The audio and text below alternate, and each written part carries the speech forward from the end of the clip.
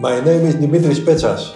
I'm the hotel manager of Mare Blue Beach Hotel in Agios Spiridonas, close to Haravi.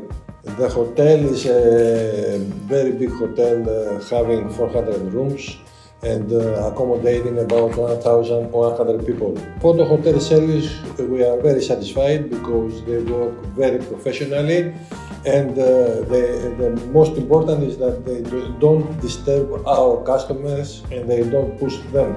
Uh, from the customers, we have very good comments and uh, they enjoy uh, this uh, photographing system because uh, after they can choose whatever they like without any pushing them.